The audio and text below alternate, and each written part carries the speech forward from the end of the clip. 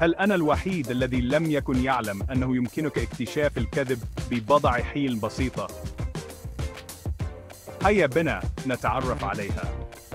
أولاً، راقب عيونهم. فالكاذبون غالباً ما يتجنبون التواصل البصري أو يرمشون كثيراً. ثانياً، انتبه إلى قصتهم.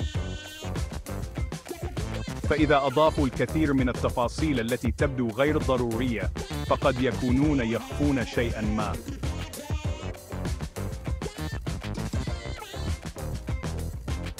بعد ذلك، أبحث عن التناقضات. إذا كانت قصتهم تتغير باستمرار، فهذه علامة تحذيرية كبيرة. ولا تنس لغة الجسد.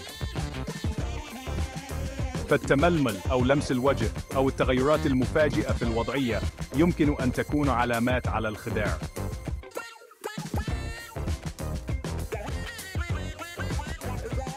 أخيراً، ثق بحدسك. إذا شعرت أن شيئاً ما غير الصحيح، فمن المحتمل أنه كذلك.